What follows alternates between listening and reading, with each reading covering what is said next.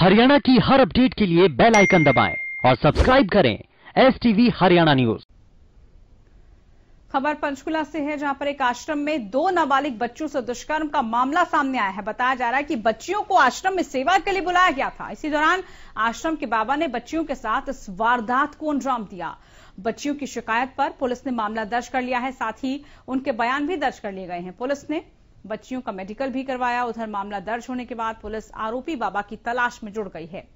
इसको लेकर जगह जगह छापेमारी की जा रही है। पुलिस ने दावा किया है कि जल्द ही आरोपी बाबा को गिरफ़्तार कर लिया जाएगा। साथ गलत काम किया गया है और ये बद्दी से का मामला है और हम इसमें अभी छानबीन कर रहे हैं। कहाँ का है बाबा? कहाँ है? क्या पूरा मामला क्या था? ये मामला ये है कि बाबा है स्वामी लक्षानंद के नाम से बोल रही हैं उनको उन उनके तीन दिन के साथ तीन दिन लगातार उसके उनके साथ गलत काम किया गया है।